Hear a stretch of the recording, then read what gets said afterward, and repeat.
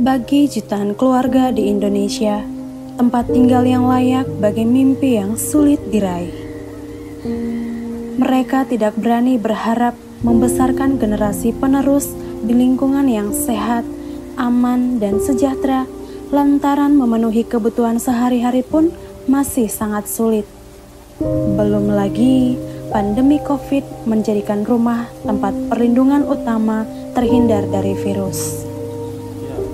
Permasalahan yang paling berat memang saya pikir di situ sampah ya. Alhamdulillah saya dapat bantuan dari Habitat atau Jurik yang berupa motor VR untuk bagaimana caranya menanggulangi sampah di sana. Banyak pengangguran di sana. Teman-teman saya yang ada di sana juga sekarang masih sulit mencari pekerjaan. baru bu ya mau bikin warung ya warungnya gini-gini aja bu. Kalau jalan minjem sama tetangga. Mau nembukin terus jualan itu bu. Waktu itu gaji cuma 60 ribu, kuatin itu nggak nyukupin. Ya kalau dulu saya tuh anak saya sering sakit cacar karena dari dampak ini rumah kumuh gitu. Kalau hujan itu becek jadinya dia sering gatel gitu. Tinggal di rumah dan lingkungan yang tidak layak menimbulkan banyak persoalan lain dalam keseharian keluarga-keluarga berpenghasilan rendah di kampung Dadap tidak memadainya akses air bersih dan sanitasi, terbatasnya pemahaman gaya hidup bersih sehat, dan kondisi lainnya yang tentu saja berdampak buruk bagi kesehatan dan kesejahteraan keluarga. Dulu emang rumahnya jelek, nggak enak, kayak udah nggak layak lah, udah mau roboh.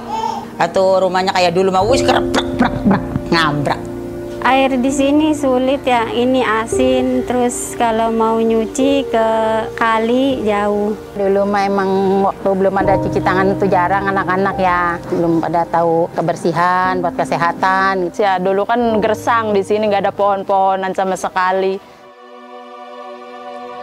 Kampung Juri Bersahaja merupakan sebuah kolaborasi gerakan kemanusiaan yang berupaya meningkatkan kesejahteraan mereka yang hidup di bawah garis kemiskinan melalui tempat tinggal yang layak dan pola hidup yang lebih sehat agar terciptanya generasi penerus yang lebih baik di masa yang akan datang penyebab stunting itu bukan hanya dari keluarganya, bukan hanya dari perilaku, tapi dari lingkungan juga. Memperbaiki lingkungan yang sehat, diharapkan nanti punya keluarga yang berperilaku hidup bersih, generasi-generasi yang hadir itu pun nanti akan lebih baik. Kalau sekarang kan alhamdulillah dia bisa main di dalam, bisa ngajak teman-teman main di dalam. Yakin, saya yakin bahwa anak saya bakal lebih baik, lebih baik dari saya. Iya, jadi saya kira kan mau cakep. Jadi harap mang WC ada, ya ada juga kok ada. iya, wis enak we pokoknya malah.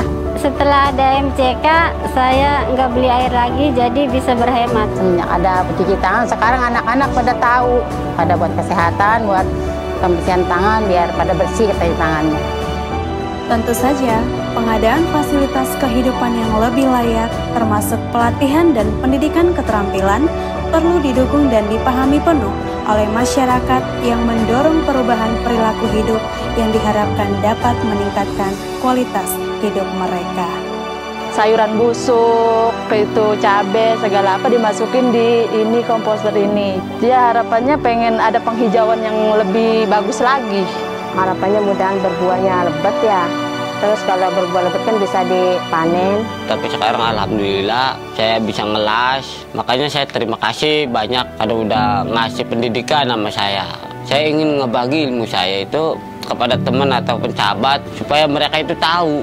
Terima kasih kami ucapkan pada tim Habitat dan juri sehingga kehidupan kami lebih baik dan nyaman.